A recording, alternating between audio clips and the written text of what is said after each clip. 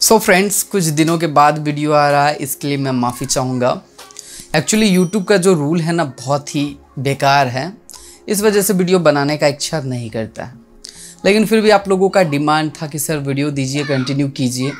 सो so इसमें मैं जो है, आप लोगों के लिए एक वीडियो लेकर आया हूँ। आपने थंबनेल और टाइटल पढ़ा होगा। उत्तर प्रदेश बिजली बिल माफ़ी योजना। आज मैं आपको इसी योजना की कंप्लीट इन्फॉर्मेशन कंप्लीट जानकारी देने वाला हूँ। ठीक है? तो चलिए शुरू करते हैं। सबसे पहले ये जो योजना है, उत्तर प्रदेश राज्य में शुरू की गई है और इसे जो है एक मुफ़्त समाधान योजना या बिजली बिल माफ़ी योजना या फिर बिजली सरचार्ज माफ़ी योजना भी कहा जाता है। अलग अलग नाम है। काम क्या है वो मैं आपको बता देता हूँ। मान लेते हैं आपका जो बिजली बिल है वो चालीस हज़ार रुपये का है अब तक। और इस योजना के अंतर्गत अगर आप इनरोल करते हैं तो उसके ऊपर जितना भी ब्याज लगा है वो माफ़ कर दिया जाएगा। यानी ब्याज जो है वो छोड़ दिया जाएगा। अब एक उदाहरण देकर मैं समझाता हूँ। जैसे कि आपका बिजली बिल अठारह सौ रुपये का आता है। एक फिक्स्ड डेट होती है निश्चित तिथि होती है। जैसे कि 22 तारीख तक अगर आप बिजली बिल दे देते हैं तो आपको अठारह सौ चालीस रुपये देना होगा। अगर आप 24 को देते हैं या 25 को देते हैं तो आपको उन्नीस सौ रुपये देना होगा। इसी प्रकार से अगर आप बाद में पे करते हैं तो आपको जो ब्याज है, उसके समेत बिजली बिल जमा करनी होगी। तो जब जब आपने बिजली बिल नहीं जमा करा है तो उस अमाउंट के ऊपर ब्याज लगा है। उदाहरण के लिए चालीस हज़ार रुपये का अगर आपका बिजली बिल आया है तो उसमें जो है आठ से दस हज़ार रुपये ब्याज का भी होगा। अगर आप इस योजना के अंतर्गत आवेदन नहीं करते हैं तो बिजली विभाग को आपको डायरेक्टली चालीस हज़ार रुपये देनी होगी। लेकिन अगर आप इस योजना के अंतर्गत एक फिक्स्ड समय जो दिया जाता है, उसके अंतर्गत आवेदन कर देते हैं, और तब बिजली बिल पे करते हैं तो आपको जो है आठ या दस हज़ार रुपये का जो ब्याज है, वो माफ़ कर दिया जाएगा। यानी आपको बत्तीस या तैंतीस हज़ार रुपये ही बिजली बिल जमा करनी होगी। तो जहाँ पर आपको चालीस हज़ार रुपये जमा करना था, वहाँ पर आपको बत्तीस या तैंतीस हज़ार रुपये ही जमा करना होगा। तो यही है बिजली बिल सरचार्ज माफ़ी योजना या एक मुफ़्त समाधान योजना। अब इसके अंतर्गत एक रिक्वायरमेंट्स ये है कि जो घरेलू उपयोग वाले बिजली धारक हैं, वो ही लोग आवेदन कर सकते हैं। बाकी मैं डिटेल में आपको बताऊँगा कौन कौन आवेदन कर सकते हैं? स्टार्ट डेट क्या है? इंड डेट क्या है? इसका एक इंड डेट भी है, जो नवंबर अप्रॉक्स में है। मैं आगे डेस्कटॉप की स्क्रीन पर जाकर कंफर्म करूँगा।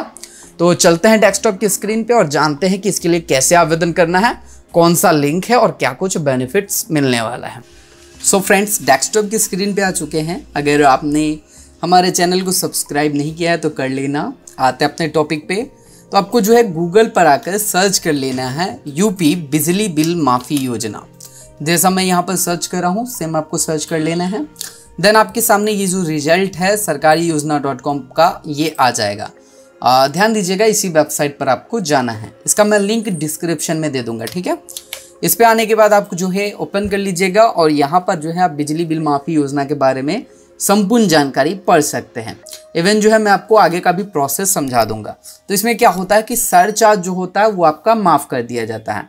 अब ये जो है 21 अक्टूबर तक जो है सर चार्ज आपका माफ़ कर दिया जाएगा। यानी इसका जो लास्ट डेट है, वो आपका अप्रोक्स नवंबर का होगा। यहाँ पर आप देखिए गाइडलाइन जो है Uttar Pradesh power corporation limited के द्वारा दिया गया है। मुख्यमंत्री के निर्देश पर प्रदेश में बिजली उपभोक्ताओं की सुविधा हेतु पावर कॉरपोरेशन ने लागू की एक मुफ़्त समाधान योजना। तो मैंने आपको पहले भी बताया था, इसे एक मुफ़्त समाधान योजना भी कहा जा रहा है।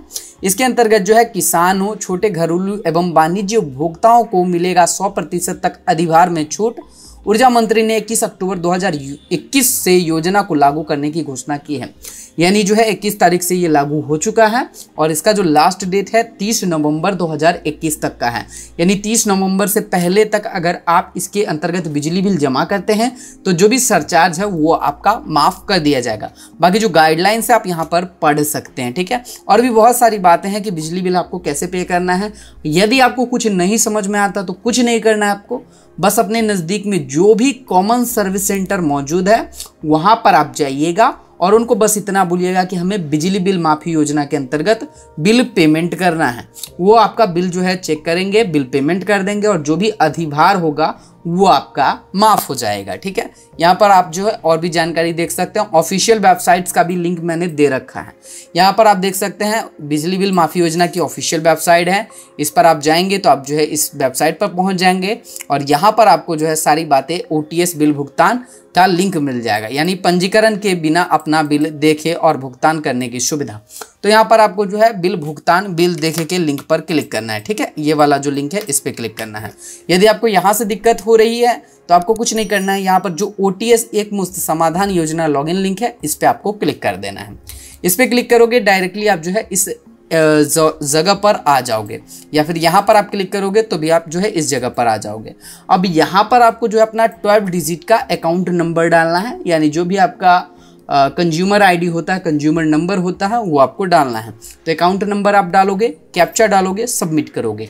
सबमिट करने के बाद जो है आपके सामने अगला पेज खुलकर आ जाएगा, जिसमें आपको दिखाएगा कि आपका जो बिजली बिल इतना था और आपका जो बिजली बिल इतना आपको देना पड़ेगा, ठीक है?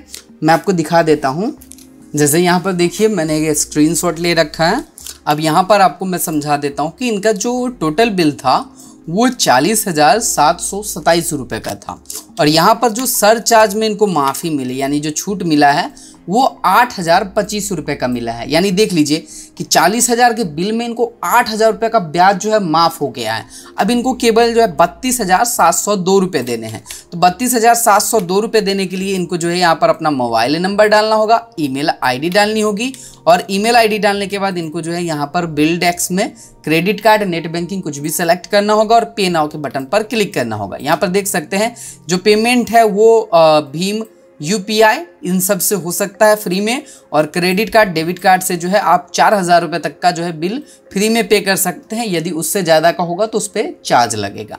तो इस प्रकार से जब आप बिल पे करेंगे तो आपको जो है बत्तीस हज़ार सात सौ दो रुपये ही पे करना होगा। यानी जो चालीस हज़ार रुपये पे करना था, वो बत्तीस हज़ार रुपये में ही आपका बिल ज़ीरो हो जाएगा। यानी अगले महीने से आपको जो है नया फ्रेश मीटर रीडिंग होगा और नया फ्रेश बिल जो आपको मिलना होगा, वो मिलेगा।